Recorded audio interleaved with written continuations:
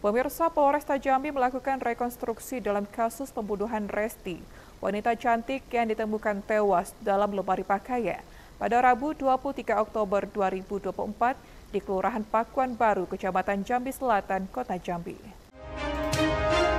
Polresta Jambi melakukan rekonstruksi dalam kasus pembunuhan Resti, wanita cantik yang ditemukan tewas dalam lemari pakaian pada Rabu 23 Oktober 2024. Polresta Jambi turut menghadirkan tersangka yang berinisial DS berumur 24 tahun saat melaksanakan adegan rekonstruksi. Ada 18 reka adegan yang diperagakan oleh tersangka dan saksi. Diawali dengan pelaku menemui korban, melakukan hubungan intim, selanjutnya berniat mencuri perhiasan milik korban.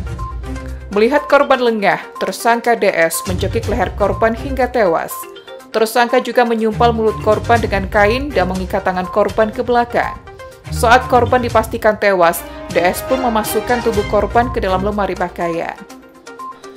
Kasat Reskrim Polresta Jambi, Kompol Marharatua Siregar menyampaikan, rekonstruksi dilakukan untuk membuat kejadian terang sesuai dengan kejadian aslinya. Selain itu, rekonstruksi juga langsung disaksikan oleh jaksa penuntut umum. Selanjutnya, Kompol Marharatua Siregar juga menjelaskan, Motif dari pembunuhan Resti adalah ingin menguasai harta dan barang milik korban.